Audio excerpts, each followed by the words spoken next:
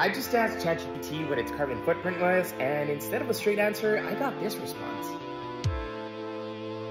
However, reports from MIT and Stanford that have looked into this show it's a lot.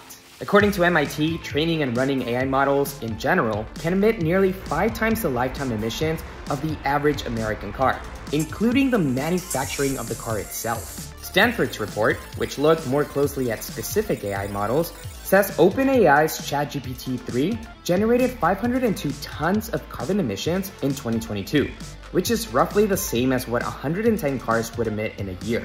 But it's not just ChatGPT that consumes this much energy. Other AI chatbots from companies like Microsoft and Google are also energy intensive in general. Researchers found that Google's AI made up 10 to 15% of the company's total electricity consumption in 2021. Then there's Bloom, a competitor to ChatGPT, which in a year consumed enough energy to power the average American home for 41 years. As you can see, AI is very energy intensive, and it can eventually be more intensive than crypto, like Bitcoin, which consumes more electricity annually than the whole of Argentina.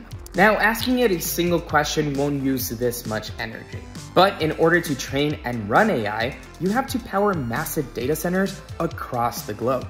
And at this current moment, measuring the exact number of emissions or the impact it's having on the environment could be difficult. That's because of how quickly the technology is growing and the limited public data we have on the emissions it's responsible for. It's also not clear where the energy to power the AI servers is coming from. Data centers could be drawing their electricity from coal or natural gas fired plants or from solar and wind farms. That being said, companies like OpenAI and Microsoft have put out statements saying things like, we take our responsibility to stop and reverse climate change very seriously, and that they are investing in research to measure the energy use and carbon impact of AI while working on ways to make large systems more efficient.